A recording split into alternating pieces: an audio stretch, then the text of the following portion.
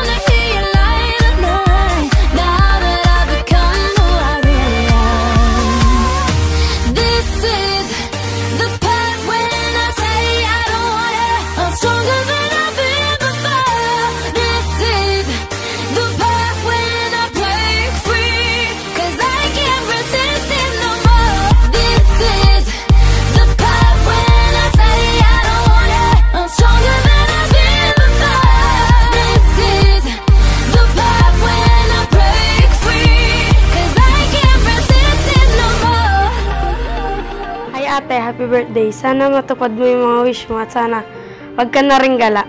Happy 18th birthday. I love you. Hi, Ate Tricia. Happy birthday, anak.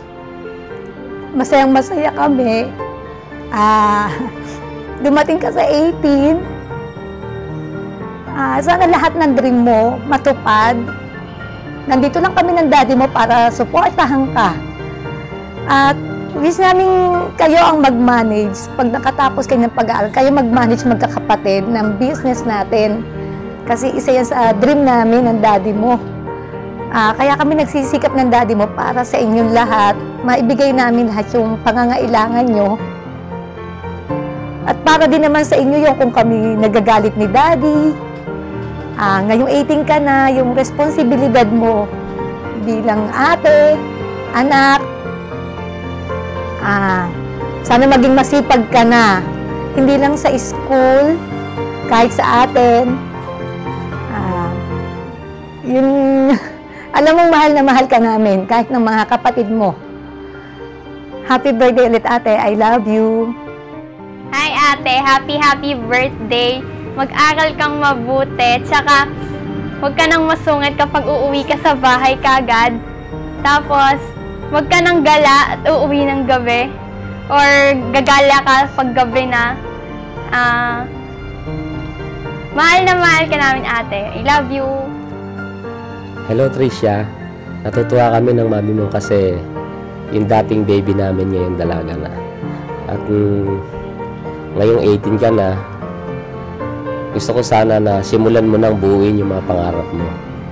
Mamaya, pagkatapos ng party, unti-unti i-visualize mo na kung ano yung gusto mong mangyari 10 to 15 years from now sa buhay mo.